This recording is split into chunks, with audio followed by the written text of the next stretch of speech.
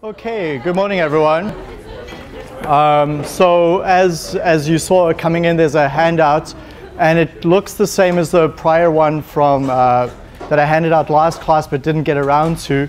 I decided to recopy it. I, I updated one or two minor things and also, of course, added a few extra pages. So you can discard the 10A handout from prior, and we'll use this one.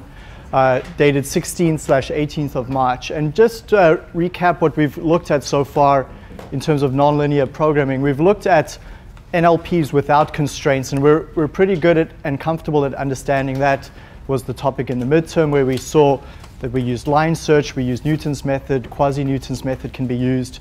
So unconstrained problems are quite easily solved. And so no surprise in that what we've been seeing is a way to move constrained problems to unconstrained problems. The one approach we've seen already is to um, simply just ignore the constraints and then check them at the end. And we'll see that coming up again today with the Lagrange multipliers. The second approach is to penalize deviations of the constraints. And you saw that in the assignment that you've been working through.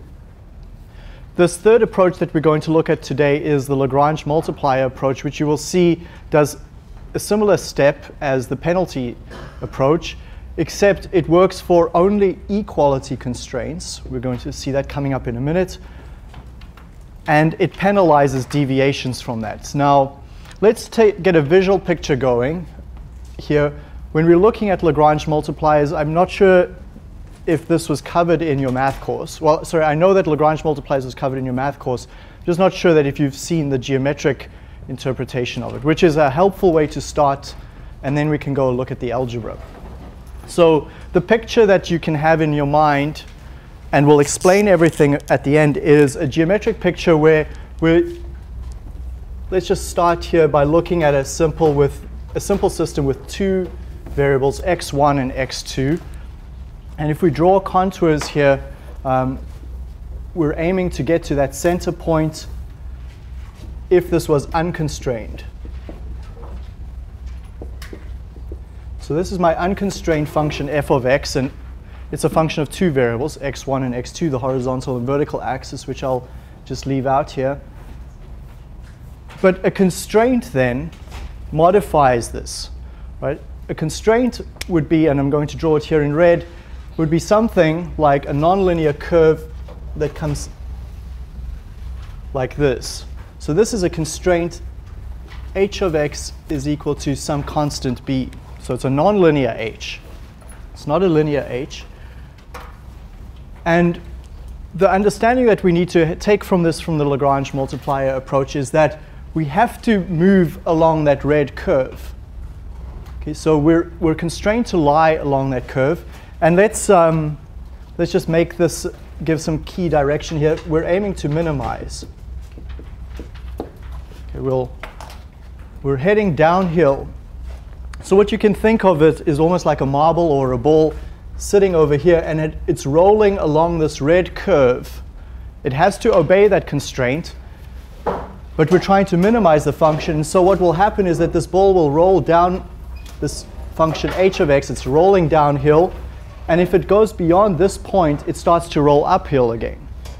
So the ball will come and settle at equilibrium right at that point over there. Okay, that's the best optimum. We have to stay along h of x equals b, obey that constraint while still minimizing f of x.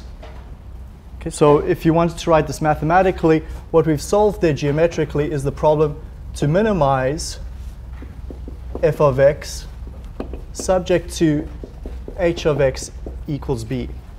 That's the geometric picture to have in your mind for a single constraint, h of x.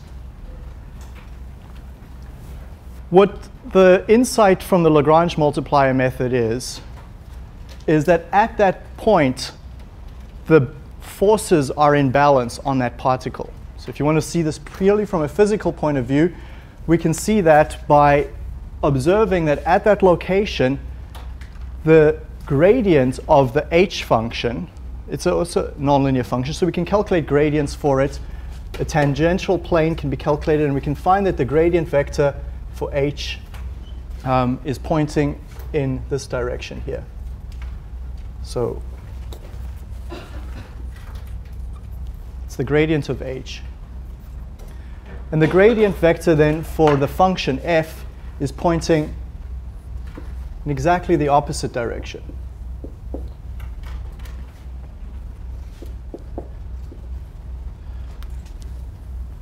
And we can make this explicit that that's the gradient at the optimum, x star.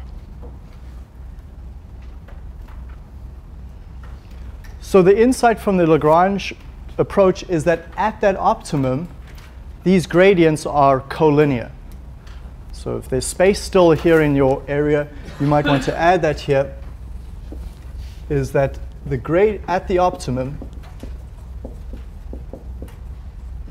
the gradients are collinear.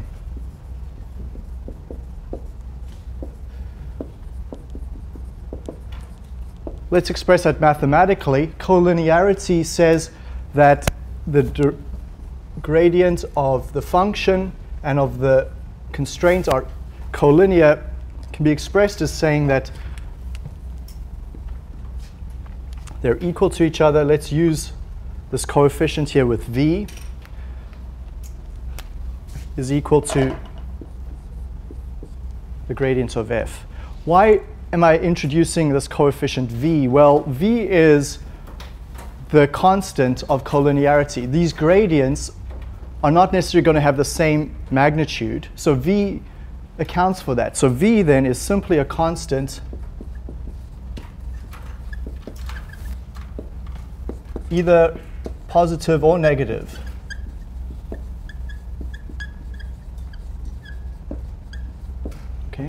So collinearity just simply means that they're pulling in the same direction or in perfect opposite direction. So that's also still collinear. If it's in 180 degrees from each other, that's still considered collinear. Or these two vectors could be exactly parallel or parallel to each other with different magnitudes. So what V does is it just it lines up the collinearity over there for us. So that's the mathematical expression of saying something is collinear. So two things we have to notice is that at the optimum, the gradients are collinear. And the second key point we have to uh, observe is that at the optimum, we are on the constraint. So the second point is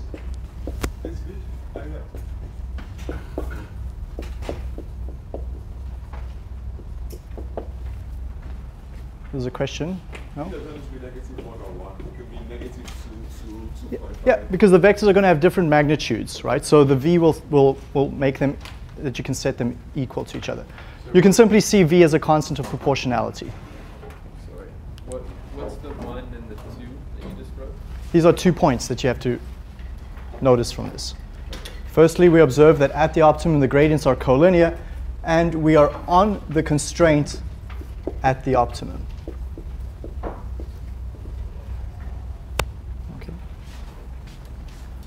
So when we derive the Lagrange method mathematically, don't, we just don't want to just use brute force algebra. We want to actually see these two features coming out of the Lagrange method. When you learned Lagrange in second year, you probably just saw a whole lot of lambdas and set things equal to zeros, and you just believed it, right? But let's actually figure out what, what this means practically. Okay, so that's the picture in your mind. Let's now try this out um, on an actual problem where we introduce the theory first, and then you're going to practice it right below it. So the Lagrange multiplier method mathematically takes your, your objective function f of x subject to a variety of equality constraints. Okay. Now warning bells are probably going off here. It's like what, what's happened to inequality constraints? Okay, we'll come and address those in a minute. But for now, let's notice that the Lagrange method only works on equality constraints and multiple equality constraints. So we've got k equals 1, 2, 3, up to m equality constraints over there. And what the Lagrange method does is it forms a new function similar to the penalty approach we saw earlier. It takes that original function f of x and it forms the sum the sum has m terms, so one term in that summation for every equality constraint that you have. And it says take hk of x minus b, and it multi multiplies it by a Lagrange multiplier, v subscript k. Okay, so that's the mathematics. Let's go try it out. I'll give you a minute to write the Lagrange function L as a function of x and v for this problem where there's three search variables, x1, x2, x3. There's two equality constraints. So two equality constraints, you should have two Lagrange multipliers. And uh, write that out there, applying that formula.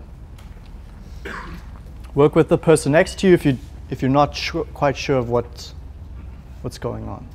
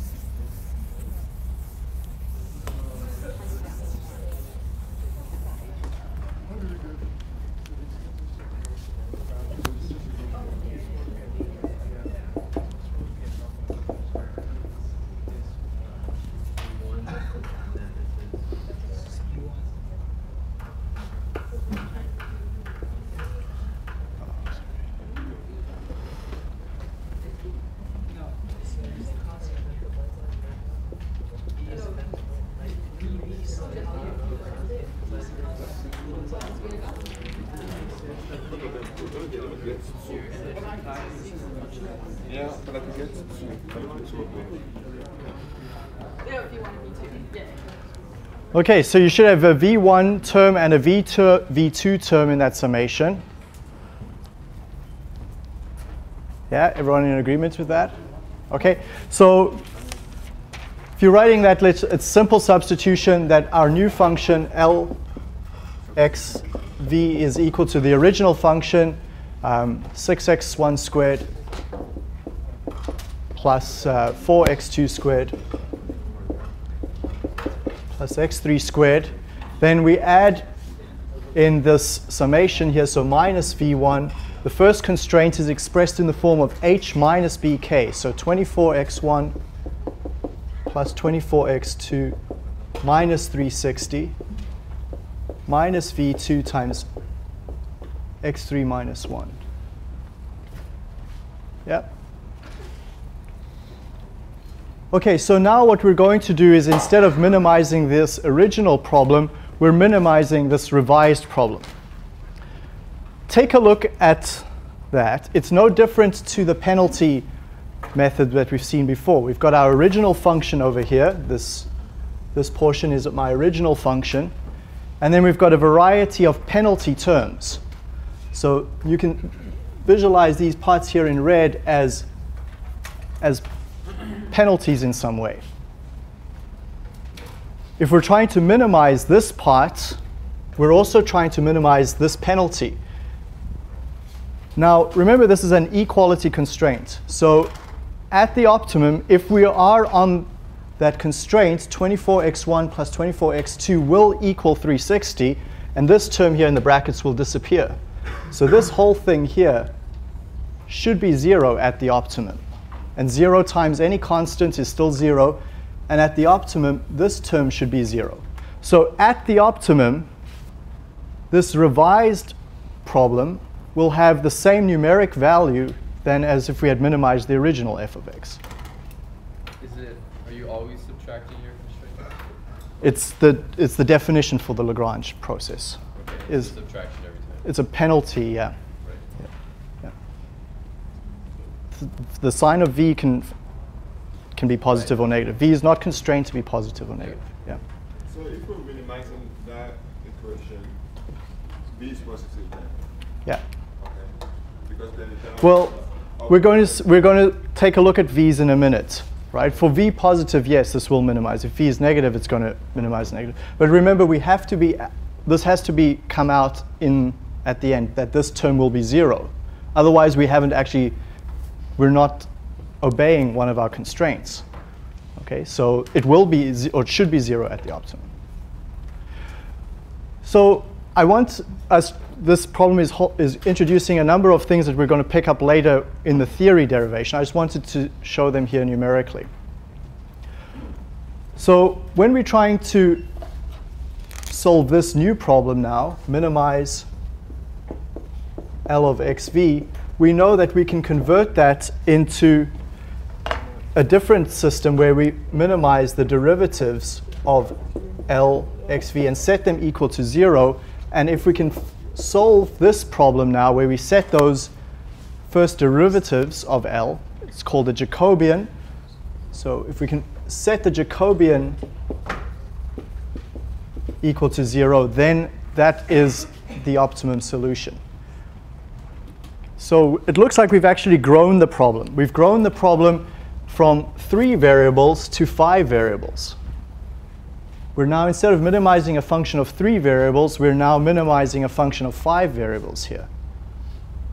But what I'm going to show you in a while is that this actually is a reduction in some way. It reduces the size of the space that we're, we're dealing with. So let's, let's take a look at this problem just once again geometrically. Can you visualize what that objective function looks like? What does that remind you of?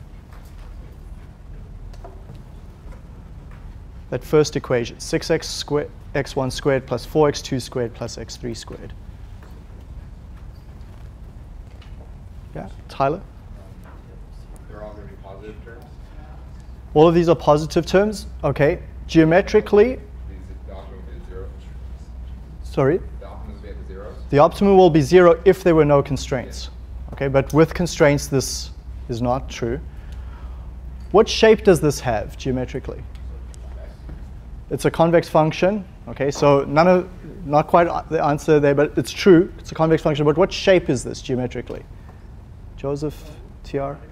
Quadratic? Yeah, I was going to say like it's a quadratic bowl. It's a quadratic ball. It's a sphere. We're in three dimensions, x1, x2, x3. If all the coefficients were, were the same value, it would be a sphere. It's, they're different coefficients, so it's a squashed sphere or an ellipsoid or a rugby ball shape. Okay? So it's, that's the visual picture of that function.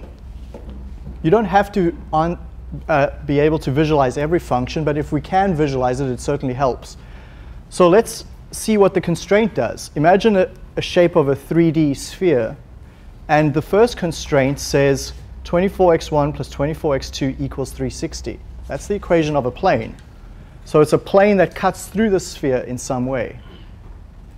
So instead of minimizing this original function, we're now operating on the sphere that's cut through by a plane. So wherever that plane intersects the sphere, so you have to imagine this in 3D. I can't draw it here on the board for you.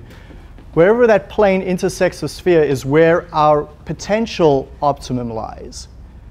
And there's another constraint that simplifies things down for us even further. We've got this very artificial constraint, x3 equals 1, which reduces the problem even more still. It actually takes it down from it being a three-dimensional problem, x1, x2, x3, down to a two-dimensional problem. Because this last constraint reduces the problem size and it fixes it to 1. Okay, so we could actually go back and resolve this, this objective function here as 6x1 squared plus 4x2 squared plus 1 and drop out that last constraint. Okay, but I'm doing this intentionally to drive a point home that is going to come up very soon. So what I want you to see with equality constraints is that they're actually beneficial in some way. They reduce the space in which you can search. And inequality simply says operate to the left or to the right of this plane. But an equality is even more restrictive. It says you have to operate on this line. And so it, it's a great reduction in the space where we can find our potential solutions. Okay, so we're comfortable with a geometric picture from earlier on. We're, we're seeing the algebraic interpretation of the Lagrange multiplier.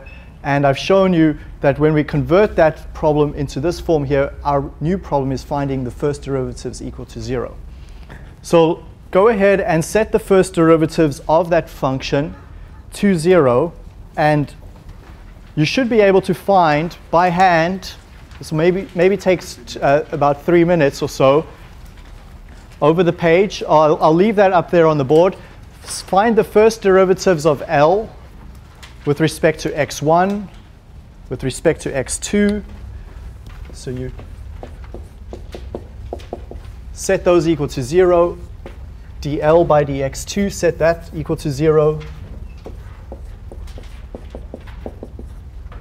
dl by dx3, set that equal to 0. dl with respect to v1, set that equal to 0. And dl with respect to v2, set that equal to 0. So you're going to get five equations in five unknowns. You can solve this really quickly. You've already got one of the unknowns. x3 is equal to 1.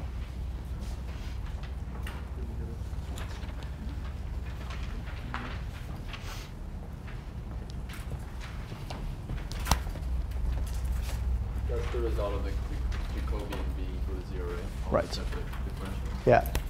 What I've written over there on the left-hand side board is simply this equation written out for the five constituent parts.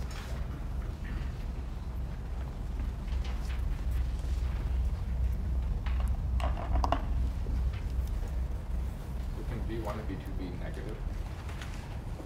Yeah, so give it a calculate, try, it- try it out and we'll see, yeah.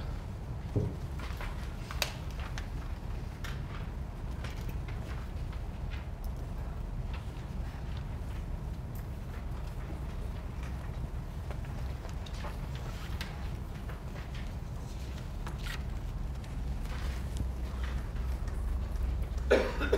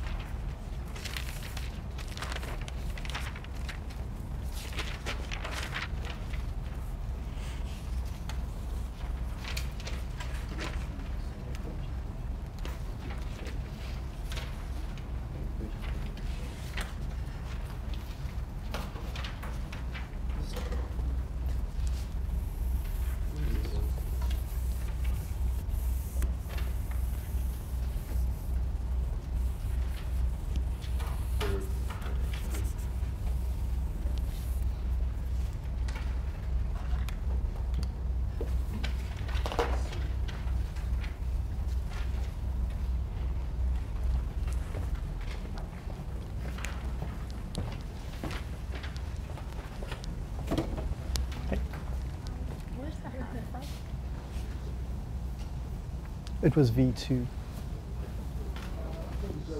V2. It's not a half, yeah. It's minus V1 minus V2, yeah. Oh. Yeah, throw each each V over there. Oh. Right. Kevin, do you want us to solve the equations? Yep, absolutely. You can solve this. This very, very solvable.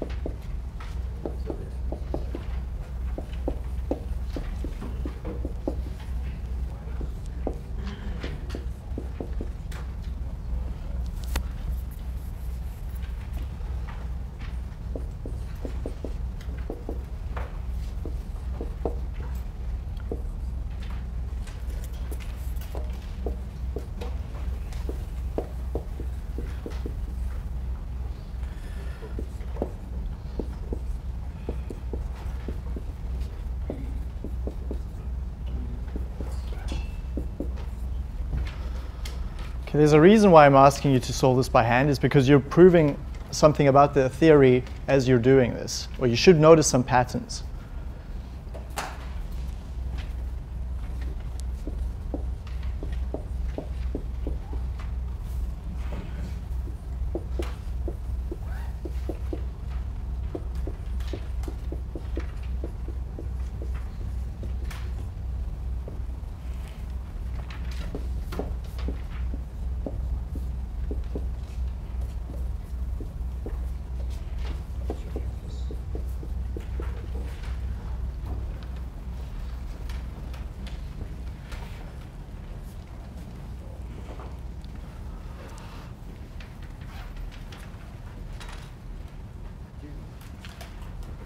We didn't calculate those zero values. We just like set them off zero. That's the definition, Right. right? Set the Jacobian equal to zero is where the optimum is. Right. Okay.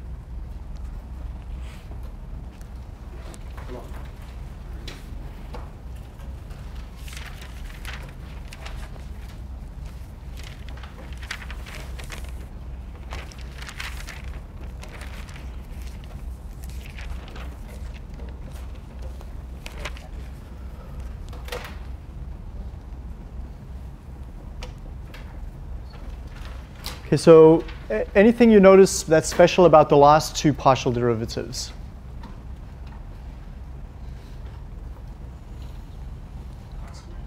Sorry? Is that two, just two constraints? The last two partial derivatives just recover the, the two constraints, okay? So that's a good observation that we're going to see reoccurring.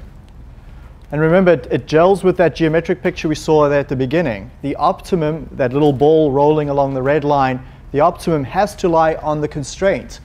So by recovering these two equations is exactly what you expect. The optimum must lie on the two constraints. So that confirms that again. Okay, so now that you've got that written down, most of you should have at least solved for two or three of the unknowns, right? Or completely done? Okay, so the first one we see, of course, here is that x3 is equal to 1. You can sub that in into um, this equation over here, the dl by dx3, and solve for v2. The second Lagrange multiplier has a value of 2. Okay, so there's two out of the five unknowns solved for. Um, the next uh, way that you can go could depend on what you've done, but uh, one thing that you might try is to re-express this first and second constraint in terms of V1. So you could write, for example, that um, x1, I'll just, I'm running out of space here, so just do it up here in this box. x1 is equal to 2 times v1, and you could write that x2 is equal to 3 times v1, sub those both in into this fourth equation here and solve for v1. And if you do that, you get that v1 is equal to a value of 3. And then you can go recover the value of x1 and x2. So x1 is 6, and x2 is a value of 9. Okay, so fairly straightforward, or just would probably require a minute or two more of your time to get to that same point.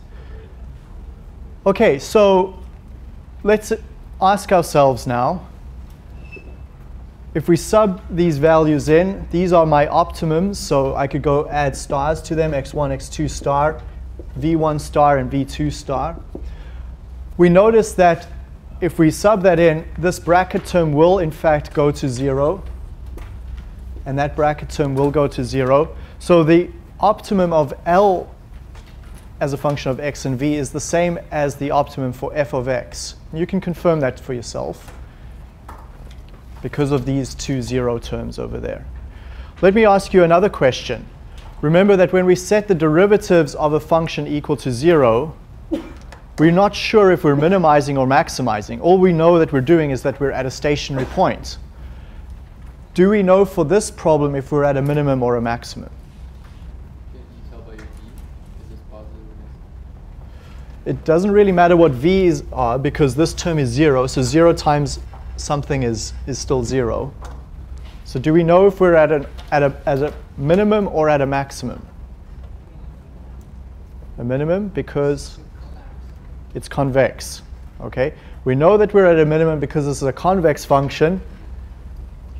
These terms are all coefficients, positive coefficients squared. So that's the idea from convexity from the prior class coming into play there.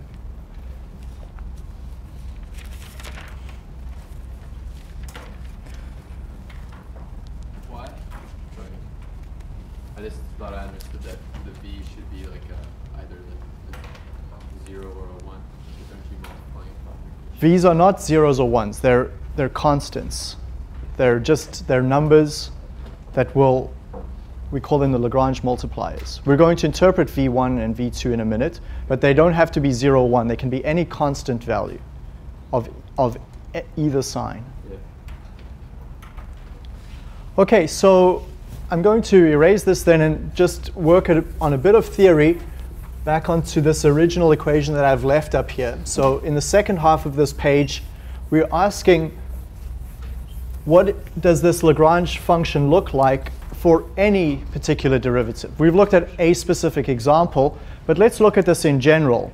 In general, when we find the first uh, derivative of this Lagrange function, we can see that we can differentiate either with respect to the x's or with respect to the v's. So there's two major sections as written up here. The first part is we can find dl by dx, and let's call this a general xi.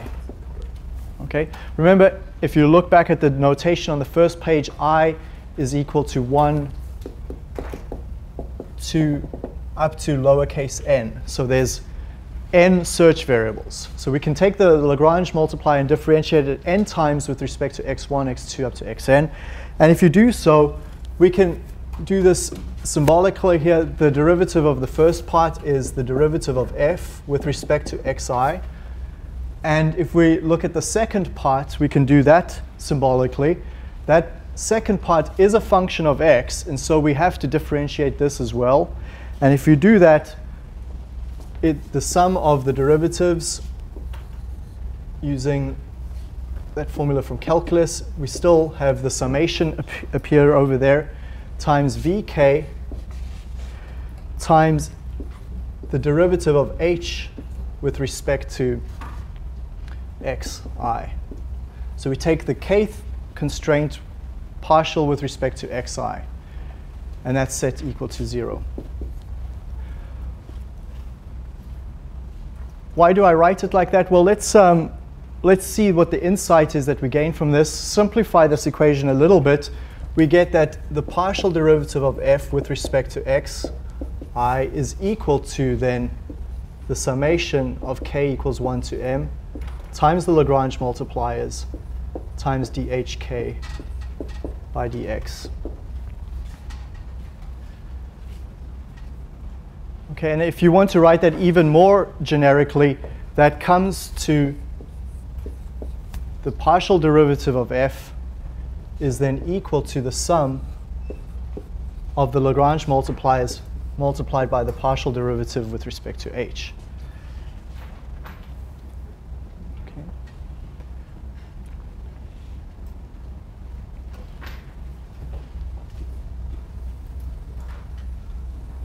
And that will remind you of something that you saw earlier right at the start of the class.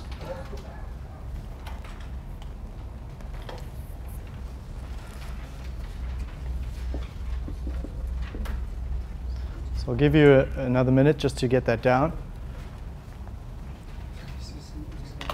In fact, it is printed in your slides just a little bit further down.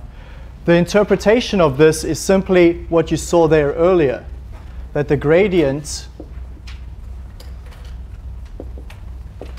at the optimum is equal to a sum of the gradients of the constraints.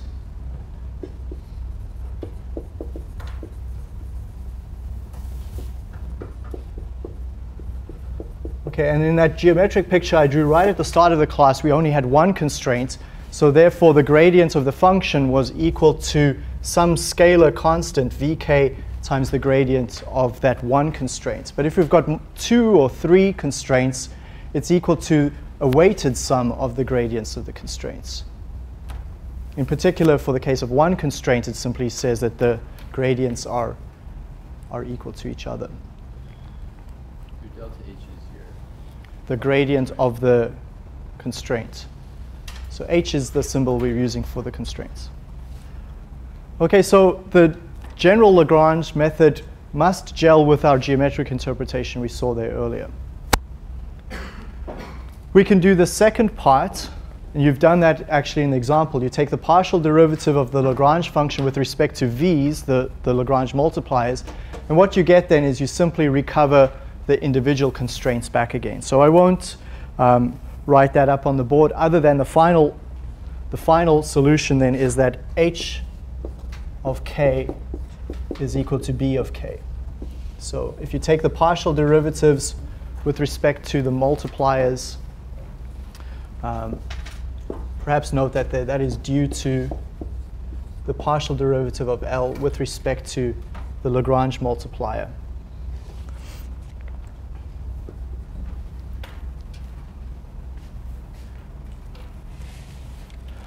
Okay, so let's, um, let's take this then a little step further to wrap up the theory. Is that what you'll notice is that by doing this, there are how many equations? How many equations have we derived when we take all these partial derivatives?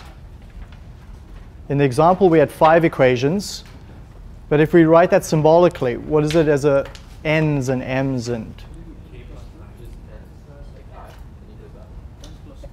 n plus 2, n plus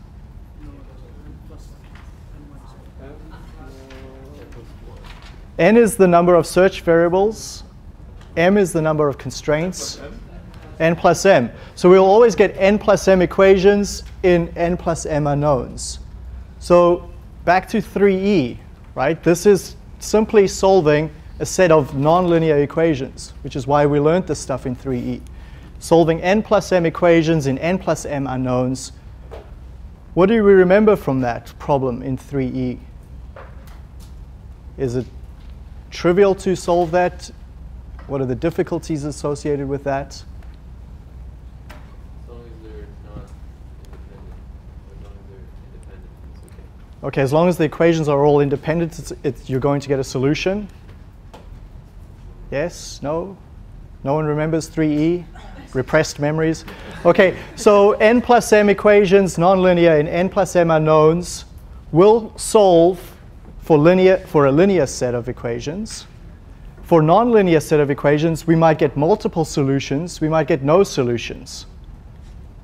Okay, so it's a tough problem to solve. So we haven't necessarily made life easier for us by doing and using the Lagrange multiplier approach. Some of the problems that limit its usefulness are that you now have to solve a fairly difficult set of n plus m equations in n plus m unknowns that may have zero solutions or multiple solutions. Okay, so you should make note of that there. The other problem is, of course, that every constraint adds another term to your Lagrange multiplier, uh, adds, adds another term to your Lagrange function. So if you've got problems with multiple constraints, you now get a fairly large function being built up, which you have to then calculate partial derivatives for. Okay, so this isn't necessarily what's used, but it does point to some ways in which optimizers work. Optimizers will take this then and modify the method slightly. Okay, so let's um, perhaps move on then and just interpret the last part here is try and understand and interpret the Lagrange multipliers. Yes, Mark? You'll always get a unique solution if, it's, if they're all linear though, right? If you, they're a linear set of in, uh, independent set of linear equations, you'll always get a unique solution. Okay, we're going to come back to that actually in the next class. Okay, so here's, here's another problem for you. I'll just, I'll set it up. You're actually not going to solve it. It's something that you can go verify easily at home. We're going to solve in this particular problem um, the dimensions for a cylindrical tank. So take a cylindrical tank. We've got length or height, if you want to call it, capital L, and you've got diameter d. And what we want to do is find the length and the diameter, so two search variables, L and D, so that we get a minimum surface area. So there's the equation for surface area. You can verify that for yourself. It includes the top and the bottom. Is it obvious what the length and the diameter should be to get a minimum surface area? Gut feel? What should the length and the diameter be to get a minimum surface area of a cylinder? okay, we have a constraint then to avoid Mark's trivial situation where, where the tank must hold some volume, 500 meters cubed. Okay, so it's not zero length and diameter, but that's, that would be the case if you solved it in GAMS without the constraint. Any other expectations? DNL have to be close to the same value. So let's see how this plays out. Um, there's your objective function with one equality constraint. You can set up the Lagrange multipliers, do this at home, and take the partial derivatives. There's the first partial derivative with respect to d, there's the partial derivative with respect to L, and there's the constraint. Notice the constraint simply says the tank volume must equal 500. So there's your three equations. So make sure you can understand that at home. If you solve them, you can do so quite easily on by hand. And again, you should prove that you can do this. And you get exactly what Brandon expected. L equals D equals 8.6 meters in this example. Okay, and then the surface area of that tank is 348 meters squared. Okay, now let's try and understand what the interpretation of the Lagrange multiplier is. I can state it up for you here in text, and we're going to look at it mathematically. For the Lagrange multiplier, a value of vi, whatever that vi is, for a particular constraint, it says that, uh, I've realized I've, I've screwed up my notation here. This should be vk and hk. I've, it's just my subscript, I've switched to a different system. Just use k's rather in that entire sentence, replace i's with k's. I apologize for that.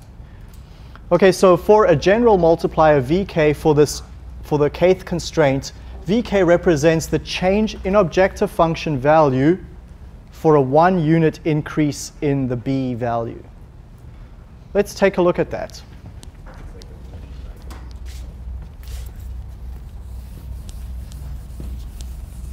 Go right back just to this definition over here.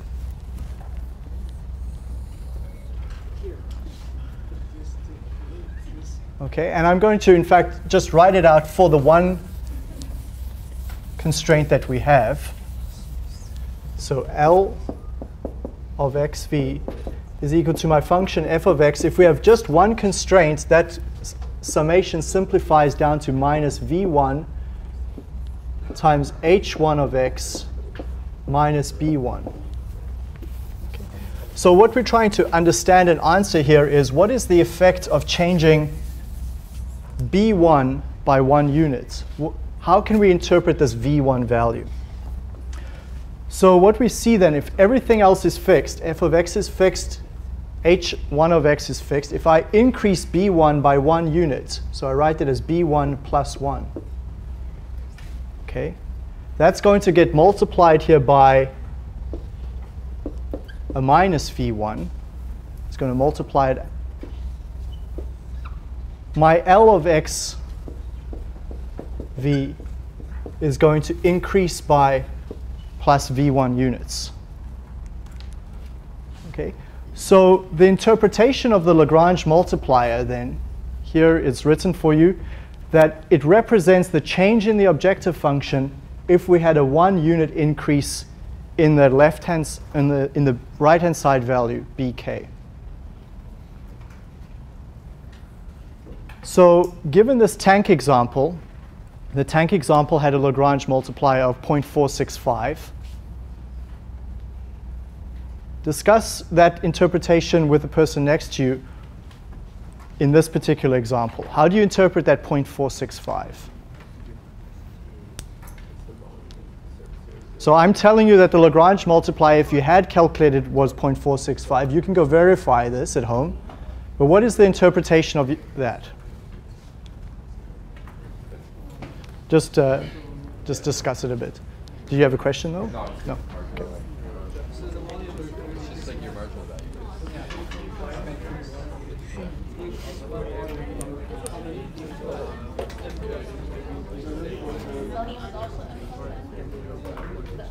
By this, from everyone in this equation,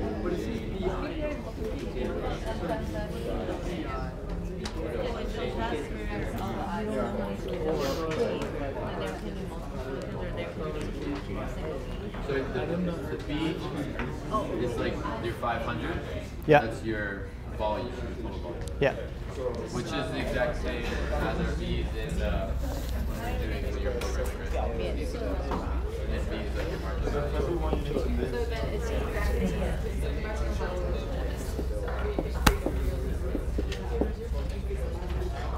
Yeah, and then your B is like your. Like, remember how we had our B vector? Okay, so uh, anyone want to answer the interpretation of the V1 value equal to 0.465? No takers, Mark?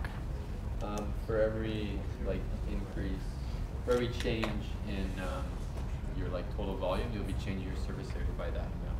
Okay, so if I went and took my constraint, currently pi d squared L over 4 equals 500, and I modified this to 501, so I wanted to add one extra meter cubed to the tank, And you'll increase your surface area by 0.4 the surface area or whatever. it is. will increase by 0.465 meters squared. Okay, so every one unit increase in the value of bk, bk is the value on the right-hand side of your constraint, leads to an increase in the objective function by that amount given by the marginal value.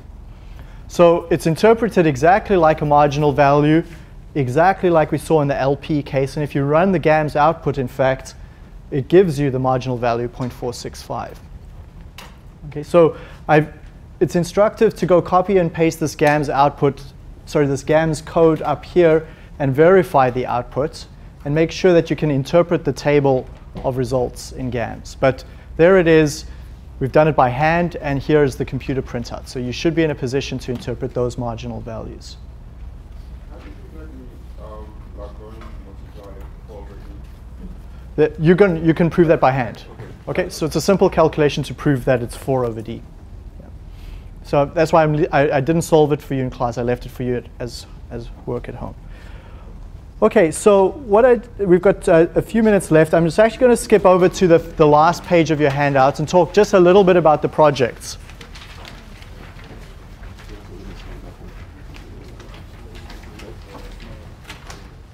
Okay, so last tutorial, um, I had a chance to meet with a good number of you, and those were incredible discussions, a lot more useful than uh, trying to discuss things by email.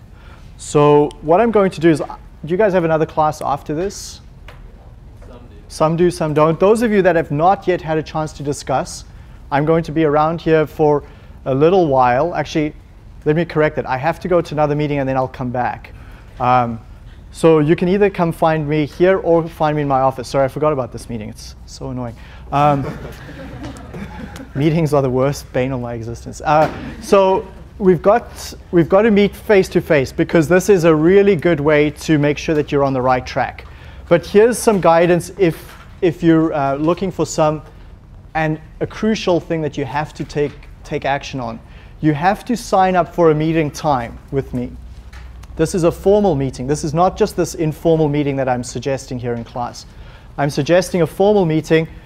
There's 35 slots available. The link is posted on the course website for you to select your slot. First come, first serve.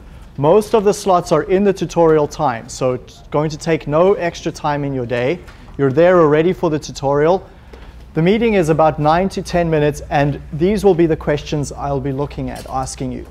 Those of you that have had a face-to-face meeting with me already, these are exactly the, the same questions I've asked you before. So you're in good shape to, if you've had your pre-meeting with me. If you haven't had a pre-meeting with me, um, please make sure you, you iterate through these questions by email. There's an important part written down here for those of you that are doing optimization problems where you're using a simulator such as BioWin or Aspen. Okay? When you're using Aspen or BioWin, you don't have the functions f of x. You don't have the constraints, constraints h of x or g of x less than or equal to 0. Okay, so what are, what are you doing there? Well, you're going to have to use a system called the Nelder-Mead optimizer, a derivative-free optimizer. It's a very easy optimization technique. We don't cover it in this course because it's so easy. But if you Google Nelder-Mead, there's some amazing codes and some amazing simulations and techniques.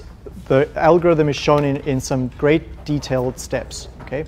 Now, there's very few of you that are doing that, but for those of you that are, that's useful to know. Okay.